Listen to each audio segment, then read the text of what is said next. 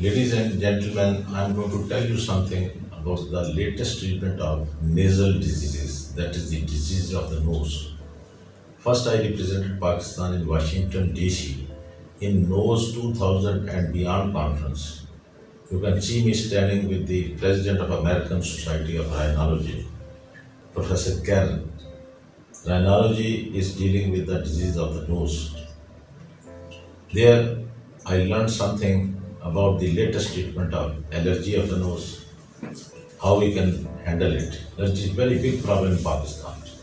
Also in SAARC countries, I went to Dhaka, I went to, Bangl- uh, to Nepal, I went to New Delhi, I went to Colombo. I have seen this whole area, the sneezing, watering of the nose, burning of the eyes, there is itching, and the patient become upset. We have got now various ways we can test the allergy and then we can do the vaccination later on. We can do various medical treatment. Anti-allergic medicines have got its own role. There are a number of cases they respond to oral tablets with the nasal spray also of various you see companies. Now there is a lot of work on it. Patient has been relieved by medical treatment also. But some surgical procedures are also there. This then there was a conference there in Manila, Love the Nose Conference. It was basically for all the nose problems. You can see me, I am sitting and with the Japanese ENT specialist chairing the scientific session there. It was a big honor for Pakistan that I was representing in Love the Nose Conference. You can see the see picture of Love the Nose Conference there. I'm standing.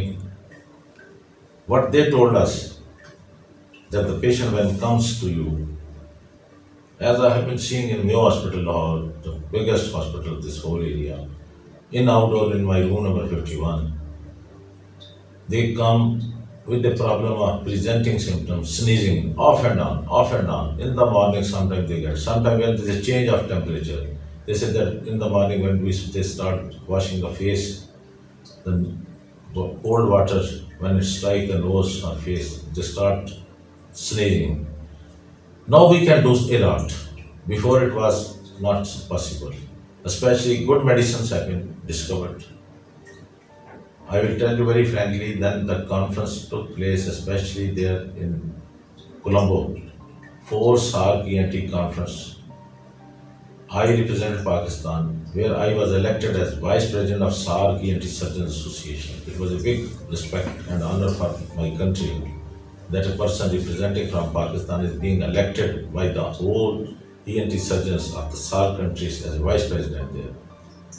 They gave me the message take this message to your country that try to adopt the latest things. We should leave the old things. Now we are not sitting in the Tonga or Reda or Gadda, but we have to travel in the, you see, those things which are now the vehicles of the time. We sit in the, you see, aeroplanes.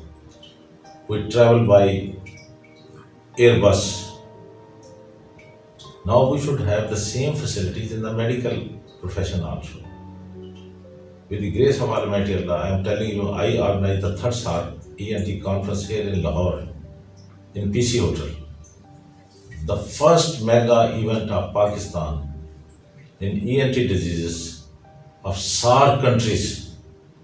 Galaxy of people from the whole world they came. The world president, Professor John J. Gray. You can see me sitting with Professor Lauddin, president of SAARC, and the president of the whole world, that is Professor John J. Wright, on the breakfast table in PC Hotel.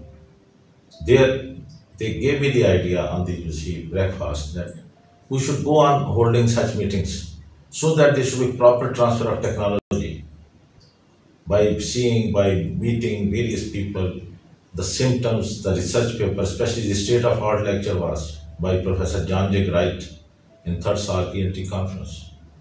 How to deal with the special problem of the nose. He said that there are polyps becoming not a problem.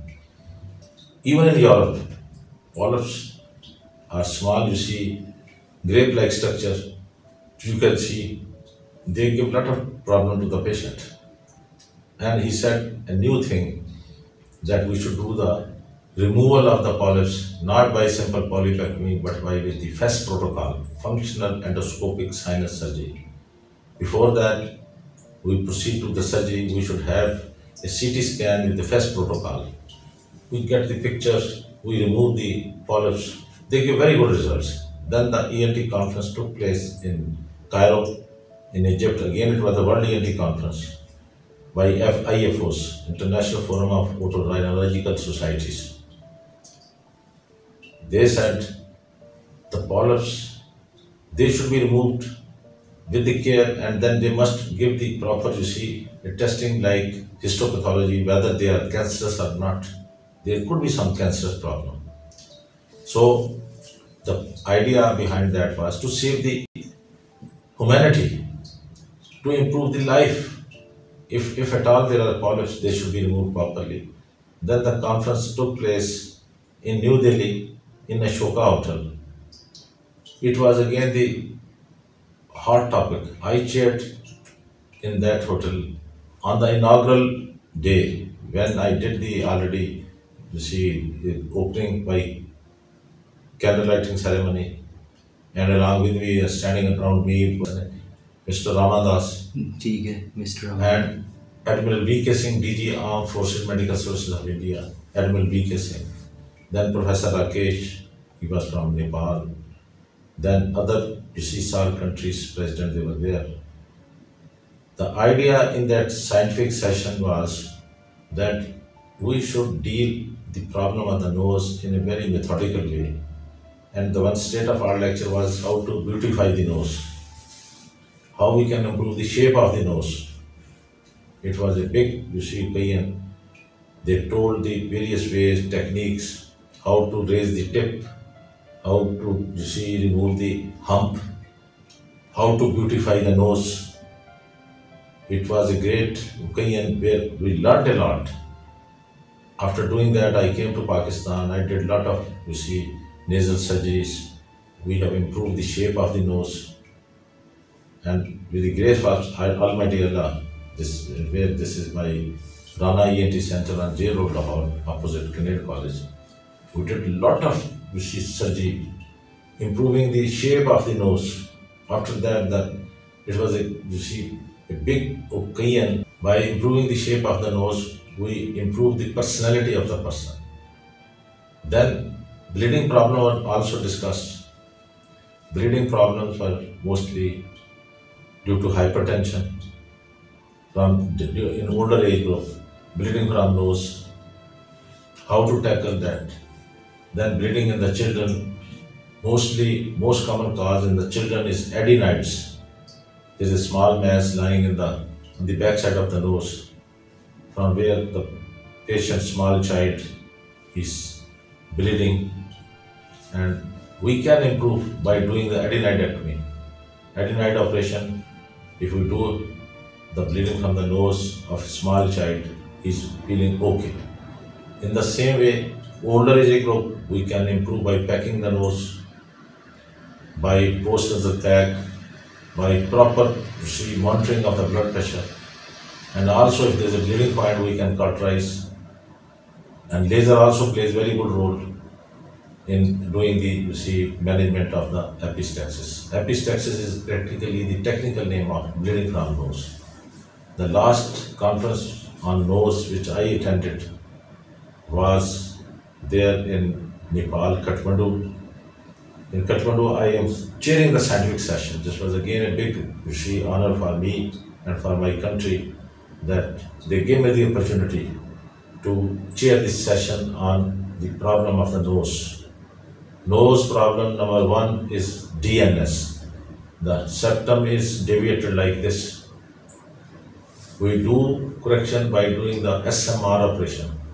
But now in the after age 18, but in the younger age group, they said that we can do the septal surgery in the age of 10 years, 12 years, eight years, and it can give the big relief to the patient. After the conference of the Kathmandu, I then uh, represented Pakistan there in New York. This was a big occasion, world gathering, world ENT conference. Again, there Professor Jennifer Delivery, she's standing with me, and the Indian delegates are also they're standing. Here they talk much about this, you see, DNS, deflected nasal septum.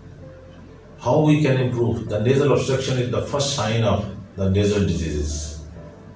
If nasal obstruction is removed, the patient is okay.